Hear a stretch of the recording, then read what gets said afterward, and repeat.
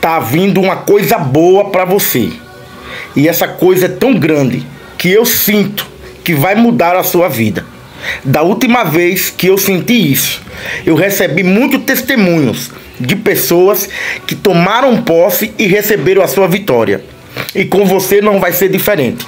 Deus, ele me faz sentir que está vindo para você uma coisa tão grande, uma coisa tão boa, que a sua história vai mudar. E você se prepare para receber esta coisa grande de Deus. É uma resposta, é uma solução que vem da parte de Deus, de um lugar que você nem sequer imagina. Deus está trabalhando, meu irmão. Minha irmã, Deus está trabalhando para abençoar você.